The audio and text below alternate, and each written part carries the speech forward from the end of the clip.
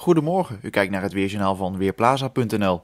Wolkensluiers hangen momenteel boven ons land en dat zal vanmiddag ook niet heel veel anders zijn. De zon die schijnt er wel goed doorheen en dat merken we vooral in de temperatuur.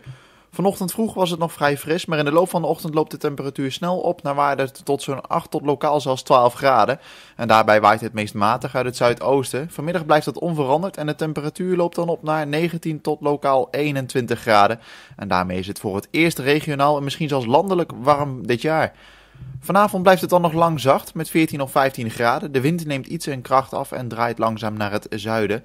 En vannacht daalt de temperatuur niet heel veel verder dan een graad of 9. Morgen een herhaling van zetten. Veel hoge bewolking en hoge temperaturen met 17 tot plaatselijk misschien 23 graden.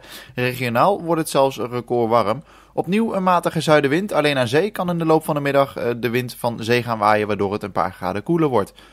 Volgende week blijft het lang zacht met temperaturen die hoog zijn voor de tijd van het jaar. Dinsdag trekt er een storing over het land met wat buien. Misschien dat we er ook daar woensdag nog mee te maken hebben.